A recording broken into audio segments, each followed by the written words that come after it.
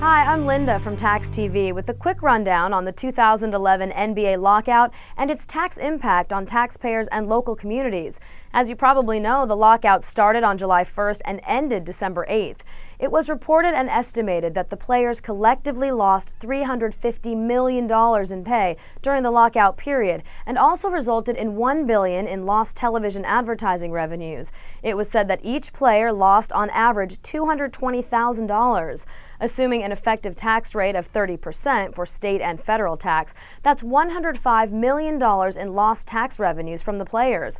Estimating net profits of 20% for media companies and trickling down of those net profits, we conservatively figure 60 million in additional tax dollars lost. We also may want to know how the lockout affected 28 communities in the United States across 23 states with NBA teams.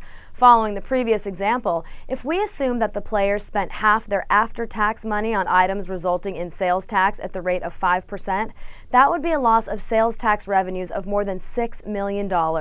It was also reported that 400 NBA jobs were lost during the lockout period.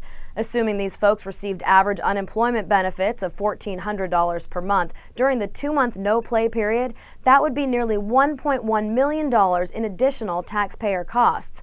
We know the NBA has rescheduled and reorganized the season to get to a 66 game season, which is 16 less games than usual.